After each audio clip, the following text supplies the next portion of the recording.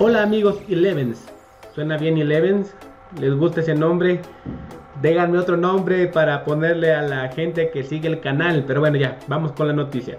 Juan Luis Anangonó, delantero de liga, como todos sabemos le quedan apenas 6 meses de contrato, si es que liga no lo negocia ahora, si es que no se va en este momento, o si no le renueva, liga en 6 meses no tendrá ni un centavo, Juan Luis Anangonó podrá negociar con cualquier equipo y seguirá sin dejarle, como digo, ni un centavo a Liga.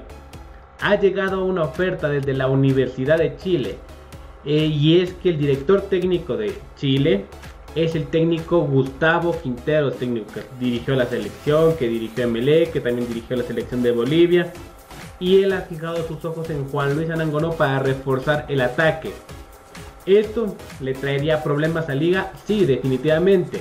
El jugador Borja no es una solución, el colombiano. Eh, el jugador eh, Rodrigo Aguirre no es un delantero centro. Liga casi no tendría delanteros centros, o sea, Borja hay que ver cómo juega. Aguirre no es un delantero centro. Yorkaev Reasco es muy joven y recién está volviendo de su lesión. Estaría muy complicado Liga si es que se va Juan Luis Anangonó. Pero obviamente Juan Luis tendría una nueva oportunidad en el fútbol chileno para probarse, para demostrar todo lo que sabe. Y me parece que sería bueno para el jugador, malo para Liga.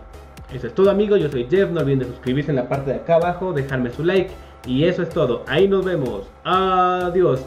Y no se olviden de dejarme en los comentarios si les gusta el nombre Elevens.